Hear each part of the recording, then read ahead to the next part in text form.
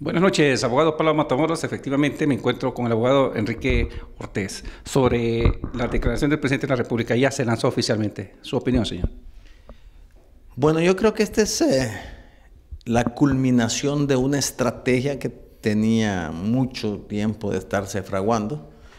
Inicia con la destitución de los magistrados de la Corte Suprema de Justicia y hoy se cae el telón de la hipocresía, porque Ahora sí se va a dar cuenta el presidente y el pueblo hondureño que se está trabajando por la reelección, que definitivamente se ha violentado la ley.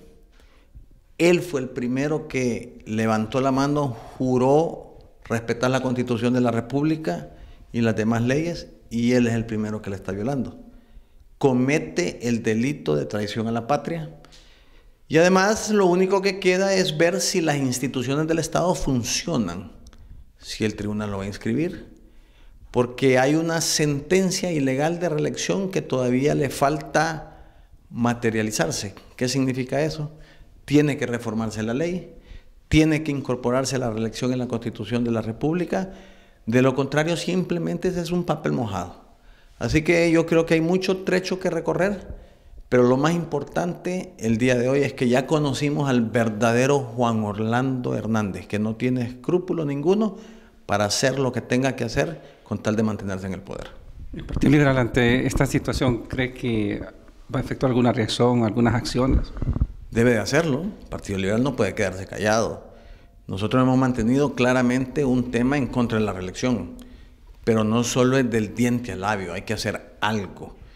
Ahora, ¿qué es lo que sucede? El Partido Liberal solo será una voz.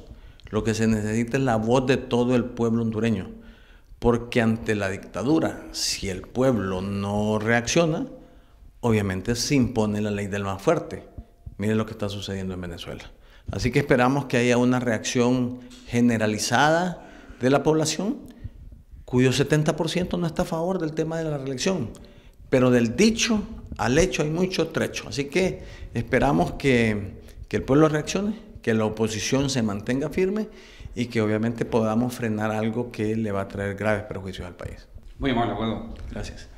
Bien, eh, abogado Pablo Matamoros, con este informe retornamos a estudios principales. Adelante, muy buenas noches.